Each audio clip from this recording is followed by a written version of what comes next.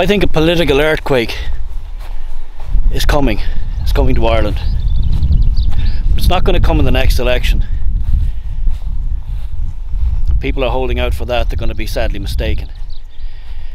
No, it's coming after the next election. The one after that. You see, the next election is going to be Sinn Féin's. And a lot of people are under the misapprehension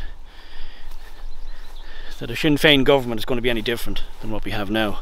It's not. It's absolutely not. In fact, if anything, it'll be worse.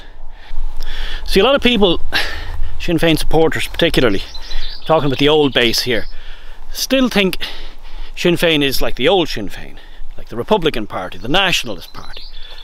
They, they fail to realise that over the past few years, 10 15 years or so, a great bait and switch has been achieved. Sinn Féin isn't anything like that. In fact, they're now a globalist EU party. Nothing to do with nationalism at all. Uh, they'll still quite happily wear the clothes. They'll wear the coat, but what's in the coat is totally different. The next election will be Sinn Féin's. They'll romp home. Now they'll probably have to bring some spurious sidekick with them, whoever that might be. I don't think it'll be the Greens. They're going to get wiped out again with a bit of luck. Um, but it'll be somebody, but they'll get in, and that's when the penny will drop for a lot of people because they'll finally realize that this great change that they were waiting for, hoping for, it's not there.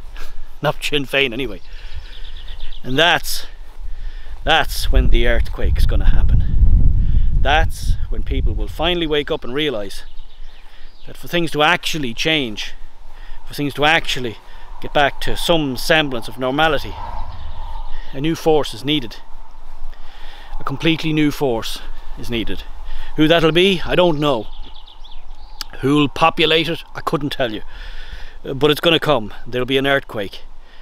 And uh, the EU's not going to like it, the UN's not going to like it, but the Irish people will demand it.